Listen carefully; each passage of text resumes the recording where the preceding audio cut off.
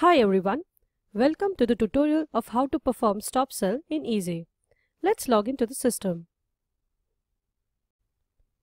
The first thing you need to decide to perform stop sell is the time period during which you want to stop selling your inventory. There are two ways in eZee from which you can do that. Either click on the rates and inventory icon here or go to the navigation panel and click on rates and inventory. Just select the stop sell option from the drop down list well, the cross marks means that there has been no stop sell performed for the particular date, whereas the tick marks mean that the stop sell has been performed.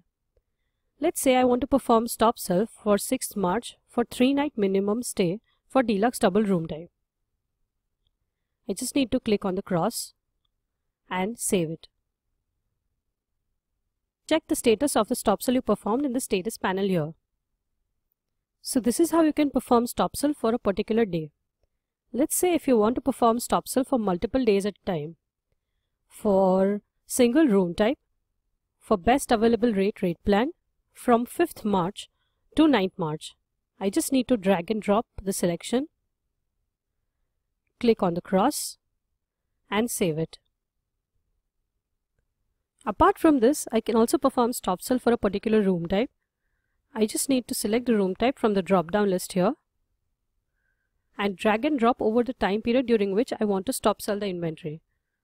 Let's say this is the time period. Click on the cross mark and save.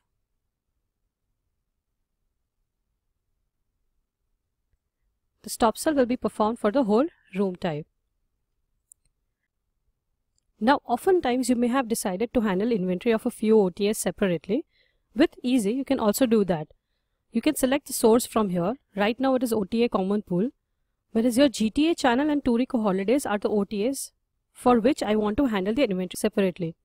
I can also handle the inventory of my booking engine right from here itself.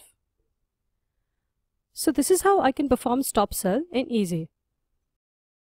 Thank you for watching this tutorial. Hope this video was informative and helpful. You can check out more such videos on our YouTube channel.